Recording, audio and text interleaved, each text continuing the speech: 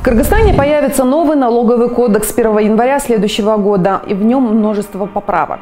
Но это совершенно новый текст. И если сейчас налоговый кодекс напоминает курак, лоскутное одеяло, то теперь он станет более единообразным. Какое количество поправок предлагается в нем? Очень много. Если вкратце, мы расскажем о самых главных из них. Первое. Предлагается два вида налогообложения – упрощенное и общее. Оно делится в зависимости от доходов компании. Второе. Меняется порог для плательщиков НДС. Если он раньше составлял 8 миллионов сомов, то теперь он вырос до 30 миллионов сомов. Это успех, считают бизнесмены.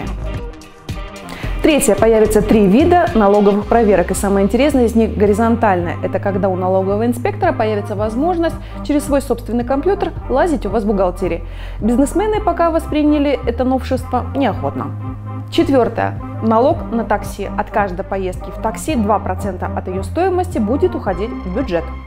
Пятое. У налоговых органов появятся функции органов дознания, и они могут разрешать не выпускать человека за границу, если он имеет налоговую задолженность. Суды здесь ни при чем. Шестое. Раскрытие банковской тайны для работников налоговой. Теперь банковская тайна будет отсутствовать в принципе. Седьмое. Некоторые налоги будут расти. Например, сотовым операторам предлагается повысить налог с продаж до 6%. Восьмое. Зато будет расширяться принцип исламского финансирования. Теперь он уравнен с традиционным, и значит у Кыргызстана появится доступ к единым исламским деньгам. Девятое. Появится налог на Google и кэшбэк. Кэшбэк – это когда с каждой покупки к вам на счет возвращается определенное количество денег. Десятое. Улучшится электронный документооборот в самой налоговой системе. Это является большим достижением, но насколько оно будет реализовано на практике, пока не знает никто.